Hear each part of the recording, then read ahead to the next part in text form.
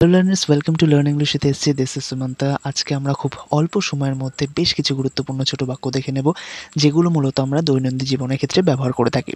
তাহলে চলো আর দেরি না করে ভিডিওটি আমরা শুরু করছি। আমাদের প্রথম যে প্রথম বাক্যটা রয়েছে সেটা হচ্ছে ঘুমোতে যাও। গো টু বেড অর্থাৎ ঘুমোতে যাও বা বিছানায় যাও। এটা কিন্তু এক অর্থেই ব্যবহার করা হচ্ছে। তো এই ক্ষেত্রে কিন্তু তোমরা গো টু বেড এই বাক্যটা ব্যবহার করতে পারো। সেকেন্ড রয়েছে, এটা ছাড়া।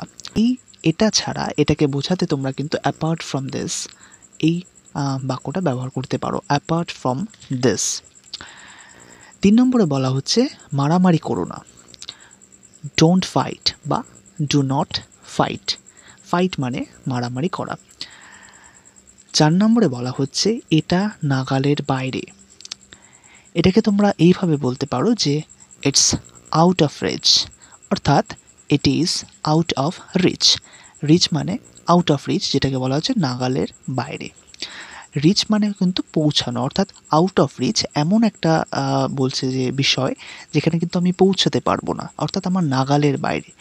সেই জন্য কিন্তু এখানে আউট অফ রিচ ব্যবহার করা হয়েছে। তো মনে রাখবে রিচ শব্দের অর্থ কিন্তু পৌঁছানো। আউট অফ রিচ অর্থাৎ যেখানে পৌঁছানো যাবে না। তো নেক্সট আমরা পাঁচ নম্বর দেখছি চলো চলো বাজারে যাই। চলো বাইরে যাই সরি চলি, চলো বাইরে যাই। এটাকে এইভাবে বলতে পারো let's go out let's go out next রয়েছে ছ নম্বরে, দেখে নাও। ছ নম্বরে যেটা রয়েছে সেটা হচ্ছে এটা বেকার ছিল। ইট ওয়াজ ইউজলেস ইট ওয়াজ ইউজলেস এটা বেকার ছিল। সাত নম্বরে বলা হয়েছে আকস্মিকভাবে। আকস্মিকভাবে, যেমন আকস্মিকভাবে তার আবির্ভাব হলো। তো এইভাবে আকস্মিকভাবে যে শব্দটা রয়েছে, এটাকে তোমরা বলতে পারো যে অল অ্যাট ওয়ান্স বা এই আকস্মিকভাবে এবং হঠাৎ করে, এটা কিন্তু এক অর্থেই ব্যবহৃত হয়, এটা কিন্তু তোমরা মনে রাখবে। তো এটা কিন্তু ইন্টারচেঞ্জও হতে পারে। তো তোমরা যেটা খুশি ব্যবহার করতে পারো এই দুটোর মধ্যে।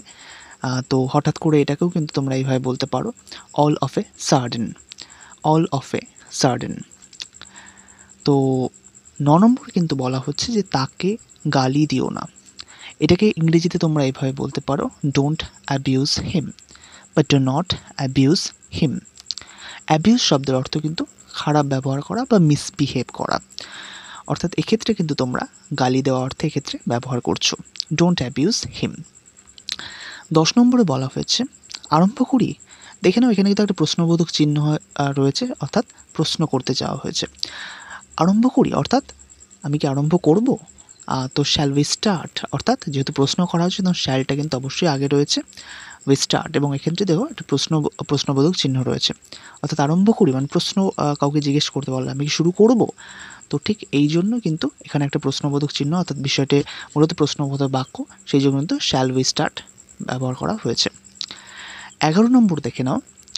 এগারোতে বলা হয়েছে, কারণটা কি? হোয়াটস দ্য রিজন রিজন মানে কারণ। হোয়াটস দ্য রিজন অর্থাৎ কারণটা কি? ভারতে বলা হয়েছে অজুহাত দেবে না। অজুহাত দেবে না।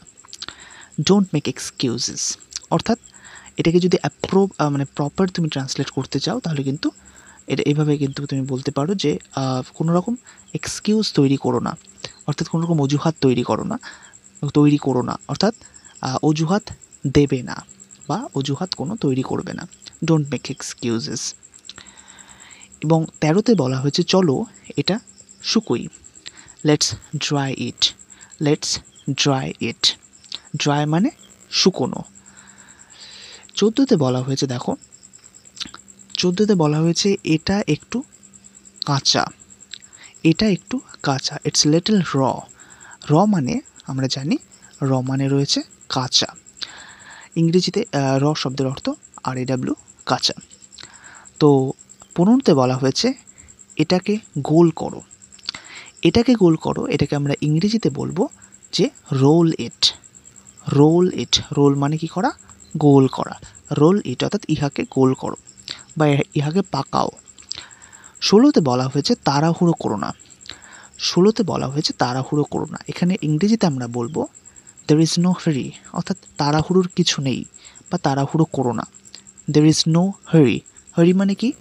জলদি জলদি বা তাড়াতাড়ি। অর্থাৎ এখানে কিন্তু জলদি জলদি বা তাড়াতাড়ি কিছু নেই। নো ব্যবহার করা হয়েছে। সতেরোতে বলা হয়েছে, এখানে কেউ আসেনি। দেখে নাও। সতেরোতে বলা হয়েছে, এখানে কেউ আসেনি। No one came here no one came here অর্থাৎ এখানে কেউ আসেনি। তো এই সতেরোটি গুরুত্বপূর্ণ বাক্য তোমাদের সাথে আজকে আলোচনা করলাম। আশা করি এগুলো তোমরা দৈনন্দিন জীবনযাত্রার ক্ষেত্রে অনেকেই কিন্তু ব্যবহার করে থাকো এবং এগুলো কিন্তু খুব সিলেক্টেড ওয়ার্ড যেগুলো মূলত আমরা বেশিরভাগ ক্ষেত্রে ব্যবহার করে থাকি আমাদের কথাবার্তার মধ্যে। তো নেক্সট ভিডিওতেও এইটাও ধরনের কিছু গুরুত্বপূর্ণ আমরা ছোট বাক্য বা বড় বাক্য নিয়ে আলোচনা করব। এরই সাথে বলব আমাদের শর্ট ভিডিওগুলোও ফলো রাখো এবং লং ভিডিওর জন্য কিন্তু আমাদের চ্যানেলকে অবশ্যই সাবস্ক্রাইব করে বেল আইকনকে ক্লিক করে রাখতে হবে। তো আজকের মতো এই পর্যন্তই। দেখা হচ্ছে ফ্রেন্ডস অন্য কোনো একটি গুরুত্বপূর্ণ ভিডিওতে ভিডিওটি দেখার জন্য ধন্যবাদ। Have a nice day